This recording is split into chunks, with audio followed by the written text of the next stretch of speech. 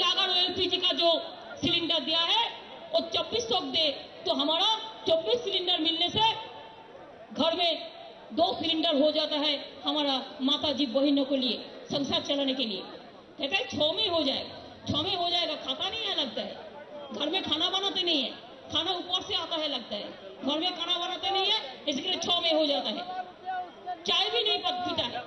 Coffee भी नहीं पीते हैं दूध भी नहीं पीते हैं कुछ नहीं पीते हैं कुछ नहीं खाते सब बाहर से आ जाता है। मेरे को दिखाता है कि छः में चला जाएगा छः में कुछ नहीं होता है। कितना रुपया चाहिए? ये पूरा सबको वापस कर दिया। फर्टिलाइज़र सब्सिडी विड्रॉ कर दिया। किसान के लिए दो दो से एलपीजी का विड्रॉ कर दिया। डीजल को बढ़ाया। पेट्रोल को बढ़ाया। और फाइन डीजल जो है, उसको 19 रुपये बढ़ गया। किसी को पता नहीं है? हर रोज कीमत बढ़ाता है और कहता है, आम आदमी के लिए, आम आदमी के लिए करते हैं। समझो?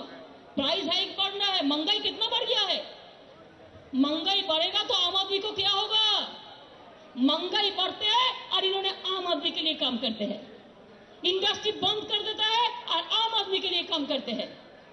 दुकानदार के दुकान ही बंद कर देता है और आम आदमी के लिए काम करते हैं। यही है आम आदमी को निशाना।